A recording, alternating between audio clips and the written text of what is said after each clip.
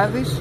Είμαι εδώ για ευνόητους λόγου, γιατί αυτή η υπουργός δεν έχει κανένα ηθικό δικαίωμα να παραμένει υπουργός. Μην σας πω για τον Πρωθυπουργό. Ε, γιατί το λέτε αυτό; Γιατί το λέω αυτό, γιατί πριν από μία εβδομάδα στη Βουλή μου έλεγε ότι δεν ήμασταν εσάς, είμαστε κράτος δικαίου, δεν θα κάνουμε ανθρωποφαγίες. Στην Ελλάδα ισχύει όσο και θέλετε ακόμα το τεκμήριο της αθωότητος για έναν άνθρωπο που ίδια αποκάλεσε πριν αρχίσει η προδικασία ως επικίνδυνο άνθρωπο. Είναι μια... Και κυρίως βέβαια γιατί αποκάλεσε την τέχνη μου εξαπατητική τέχνη.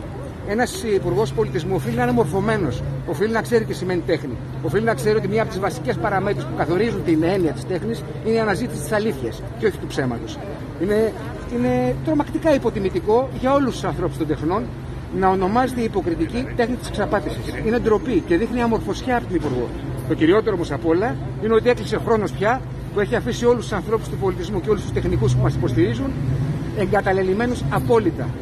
Εμείς είμαστε 12.000 ηθοποιοί, από εμάς έχουν βοηθηθεί 2.000. Οι 10.000 είναι ακόμα αόρατοι γιατί δεν θα δουλεύανε με μαύρα. Θα μας κάνετε και ένα σχόλιο για αυτά που συμβαίνουν το τελευταίο καιρό. Βλέπουμε ότι ένα τον άλλο να καταγγέλνουν τέτοιε περιπτώσεις. Καιρός ήταν. Ποτέ δεν είναι αργά. Πρέπει να πάψουμε να φοβόμαστε. Πρέπει όλα τα θύματα να πάψουν να φοβούνται. Είναι ηθική υποχρέωσή μας να τους ανοίξουμε τον δρόμο για να μιλήσουν απρόσκοπτα. Γνωρίζετε και άλλα περιστατικά. Γνωρίζει πολύ καλά το σωματείο μου. Εδώ δίπλα είναι, μπορείτε να το ρωτήσετε. Είναι ο πρόεδρος του πειθαρχικού μας εδώ πέρα, ο κύριος Σαλχά. Μπορείτε να το ρωτήσετε να δείτε πόσα είναι τα περιστατικά.